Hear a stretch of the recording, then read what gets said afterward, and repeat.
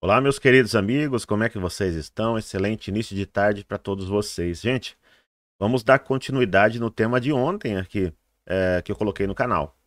Porque Xi Jinping e Vladimir Putin fizeram grandes acordos e agora é melhor os países ocidentais aí abrirem os olhinhos. Bom, os Estados Unidos têm enfraquecido demais, essa é a grande realidade é, estamos vendo um confronto, como eu falei no vídeo de ontem, entre dois lados aí que desejam uma nova ordem para o mundo. China e Rússia liderando um lado, querem a nova ordem por eles. Estados Unidos, União Europeia, buscando a ordem, é, a nova ordem deles, que é aquela que sempre foi teorizada aí na internet, já há muitos anos avisada das preparações e que hoje estão buscando colocar no mundo aí. Tem muitos eventos acontecendo. Então nós estamos vendo isso o quê? Entrando em colisão esses dois mundos, vamos dizer assim. O que pode levar realmente, que é o grande aviso que está sendo dado, que tem tudo agora para levar a um confronto direto entre essas nações. E depois o que sobrar, essa é a realidade, será liderado pelo vencedor. Se é que teremos um vencedor num, conflito dessa, dessa magnitude. Bom, o acordo de ontem, assinado, vários acordos, é, foram ali muito importantes, principalmente, acredito, para a Rússia, mas a China saiu com os bolsos cheios. E o aviso foi dado por Xi Jinping. Estamos, está chegando uma mudança que não acontecia há 100 anos. E estamos conduzindo essa mudança juntos. Palavras de Xi Jinping para Vladimir Putin. Olha só, gente. Bom, vou te mostrar aqui nesse vídeo, mostrar também que os bombardeiros nucleares americanos voltaram a sobrevoar ali a Europa, então o clima continua se aquecendo aí cada vez mais, combinado? Então deixa aquele like, se inscreve aí no canal, ative as notificações para não perder os próximos vídeos. No nosso Facebook, clica aí para seguir a página. Pessoal, um recado rapidinho aqui para você que gosta de oportunidade. Tem uma profissão no Brasil que é pouco explorada, que é a profissão de perito, que tem uma forma em que você pode se tornar perito sem, necess... sem ser necessário você ter uma faculdade ou concurso público. E a hora do perito pode chegar a custar 510 reais, isso mesmo, gente.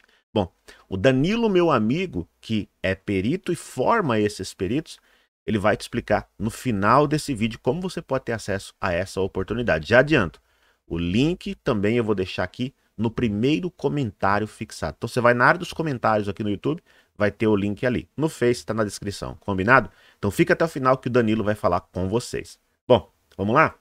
Olha só, gente. Aqui, ó, foi a despedida ontem de Xi Jinping com Vladimir Putin.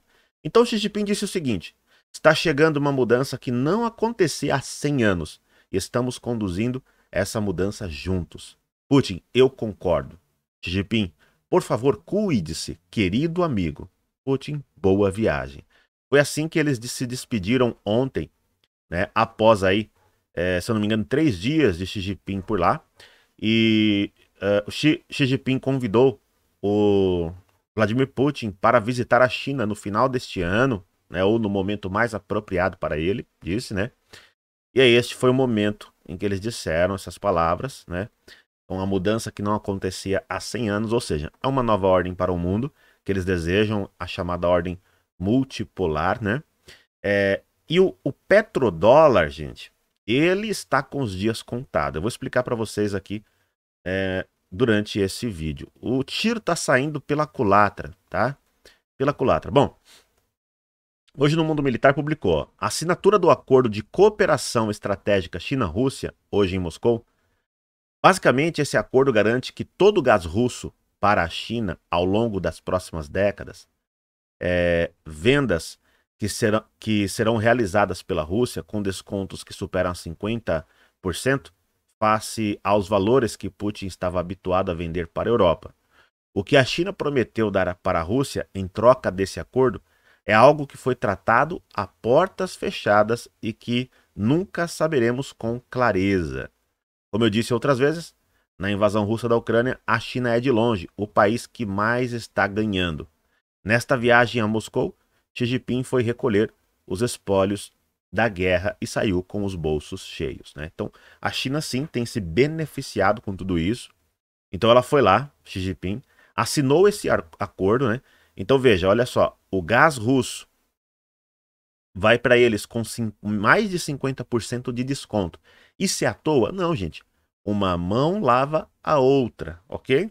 Então, nessa guerra, agora, com certeza aí, deve estar tá nesse acordo muito, muita, uh, muita ajuda chinesa para a Rússia. Vamos ver é, o que os Estados Unidos vai falar sobre isso, né? É, se vão realmente enfrentar agora a China ou não vão, né, gente? Porque agora eles, eles né, é, tentaram de todas as formas isolar a Rússia, tal, fizeram sanções e etc. E agora a China vai lá simplesmente, ó, tá nem aí para os Estados Unidos, assina um acordo, sai com o bolso cheio e sabe lá o que foi prometido para a Rússia. Com certeza deve estar essa questão da ajuda militar ali, é, é, ali dentro, né? É, nessa guerra. E também deve ter alguma coisa no sentido da China quando fizer ali a invasão de Taiwan, porque isso é uma questão de quando, não se vai acontecer, tá certo? Então aqui, ó, o presidente Xi Jinping e Putin assinaram suas declarações conjuntas uma sobre o aprofundamento da parceria estratégica abrangente de cooperação China-Rússia para a nova era, e a outra sobre as prioridades de, é, prioridades de cooperação econômicas antes de 2030. Tá aí. Documento assinado. Né?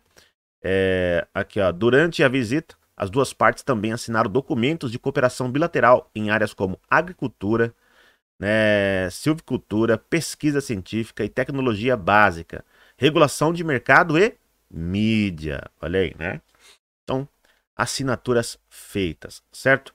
Bom, aí a questão do petrodólar, né? Ó, olha só o que, que vai começar a acontecer. Isso daqui que é parte da nova ordem é, multipolar que eles estão buscando. E a China buscando liderar este novo mundo. Né? Ó, o Putin diz: ó, somos a favor do uso do yuan chinês para acordos entre a Rússia e os países da Ásia, África e América Latina. Olha o dólar sendo jogado de lado. Estou confiante de que essas formas de acordos de acordo em yuan se desenvolverão entre os russos, parceiros e seus homólogos em países terceiros. Então, veja, sanções colocadas contra a Rússia foi estrangulada de todas as formas e eles estão conseguindo sair e estão levando um monte de nações com eles. Vários países africanos, pessoal, já foram lá se reunir com Putin, vários representantes né, também, para fechar esses tipos de acordo. Então, nós estamos vendo o mundo sendo dividido. Né? E vai chegar um ponto que é inevitável esses dois mundos entrarem numa colisão militar realmente para disputar na força quem é que vai liderar é o, o novo mundo. Bom, uma das é, a chamada Dama de Ferro de Putin lá da Rússia, ela deu um recado aqui, ó, presta atenção. Você vai entender por que isso aqui, ó. Nada pode ser cultivado na, nesta terra depois de urânio empo, empobrecido. Legumes, frutas, cerejas, é, pão, tudo será envenenado. Alguém vai envenenar as cerejas em suas terras? Por que, que ela está dizendo isso? Porque o Reino Unido é, está falando que vai fornecer urânio empobrecido para a Ucrânia. Isso aqui, gente, a, a, a própria Rússia já disse que vai responder. Ó, a Rússia acusa a Grã-Bretanha de genocídio ao fornecer à Ucrânia projéteis de tanques com urânio empobrecido, depois que Putin prometeu uma resposta adequada às armas com componente nuclear, disse ele. Ó. A Rússia acusou hoje a Grã-Bretanha de desencadear um genocídio ao oferecer à Ucrânia projéteis de tanques com urânio empobrecido. Moscou intensificou seu ataque a Londres depois que Putin disse que terá que responder adequadamente, já que o Ocidente coletivo estará usando armas com um componente nuclear. Então, olha aonde nós estamos chegando. Pessoal, você consegue olhar para o horizonte e ver que a coisa não está nada boa? E isso aqui é uma escalada terrível então vai lá e começa a oferecer urânio empobrecido e urânio enriquecido. E de repente uma bomba nuclear. Aonde isso vai levar? As ameaças russas estão cada dia é, mais fortes de que podem usar armas nucleares. Então isso aqui vai dar o quê? Mais disposição para que eles possam fazer. O Ministério da Defesa do Reino Unido acusou os russos de tentarem deliberadamente desinformar sobre o componente padrão que nada tem a ver com armas ou capacidades nucleares. Essa é a defesa da, do Reino Unido. A Rússia sabe disso, mas está deliberadamente tentando desinformar. A munição de urânio empobrecido que a Grã-Bretanha está fornecendo a Kiev com tanques de batalha, batalha Challenger 2 pode causar sérios danos à radiação se entrar no corpo e está ligada a casos crescentes de câncer e outras doenças em zonas de guerra. A porta-voz do Ministério das Relações Exteriores da Rússia, Maria Zakharova, reagiu ao Reino Unido declarando: o uso de munição com urânio empobrecido é uma manifestação de genocídio da população contra a qual é usada e das pessoas que as usam, né? Então, olha a que ponto a coisa está chegando. Bom, eu vou deixar essa aqui por último, que eu quero falar, mostrar aqui para vocês. Bom, quem visitou também a Ucrânia foi o primeiro-ministro japonês. Então veja, como nós dissemos, né? Os países tomando lado já, se posicionando nos blocos primeiro-ministro japonês Fumio Kishida pegou um trem da Polônia para Kiev né, e chegou lá, depois de encontrar com Zelensky para discutir a ajuda japonesa. Ele retornará à Polônia para reuni reuniões com o primeiro-ministro polonês e o presidente Duda. Então, o Japão também entrando aí de cabeça nisso tudo. Bom, enquanto isso, é, foi, acho que até ontem eu trouxe para vocês a informação de que a Rússia teria é, ela teria interceptado bombardeiros nucleares dos Estados Unidos. Agora, ó, olha só. Aviso da OTAN a Putin. Bombardeiros B-52 dos Estados Unidos são flanqueados por aliados da OTAN nos céus da Europa em demonstração de força. Dois bombardeiros americanos com capacidade nuclear participaram de uma missão sobre a Europa com três outros aliados da OTAN, em uma demonstração de força da Aliança Militar Ocidental, e como um severo aviso ao russo Vladimir Putin. É, o vídeo espetacular filmado do cockpit de um dos bombardeiros com capacidade nuclear mostrou sua contraparte voando acima das nuvens ao lado dos caças da Espanha, Itália e Romênia. O Comando Aéreo da OTAN disse no Twitter que os B-52 estão treinando com as forças aéreas aliadas durante sua missão, fortalecendo nossa parceria euroatlântica em meio à invasão da Ucrânia pela Rússia, que aumentou as tensões. Né? Então aqui, ó, você vê parte do vídeo, ó. Olha lá. Você vê o vídeo, né? Aqui, ó. Sobrevoo, né? Com esses exercícios que cada dia mais acontecem, né, gente? Olha lá. É, com os bombardeiros nucleares, olha lá. Né? Então isso tem sido cada vez mais constante, né? Bom, para a gente finalizar, uma matéria aqui, e eu vou te mostrar o que o presidente do México falou, para você ver como a liderança dos Estados Unidos está sendo abalada até mesmo por países que antigamente estariam juntos. Xi Jinping entrega uma mensagem assustadora para o Ocidente, ao dizer ao querido amigo Putin que uma mudança que não acontecia há 100 anos está ocorrendo, com sua ajuda à Ucrânia. O presidente da China, Xi Jinping, disse a um sorridente Vladimir Putin, que é o que eu te mostrei no início do vídeo, só que aqui uma matéria, que a mudança está chegando, em uma mensagem de despedida sinistra ao deixar Moscou na noite passada após conversas com o colega russo. A mudança está chegando, o que não acontecia há 100 anos, e estamos conduzindo essa mudança juntos, disse Xi a Putin. Por favor, cuide-se, querido amigo, acrescentou, apertando calorosamente a mão do líder do Kremlin antes de ser dispensado pelo russo. Né? Bom, depois que os dois líderes saudaram uma nova era que está chegando, o avião de Xi deixou o aeroporto de Moscou.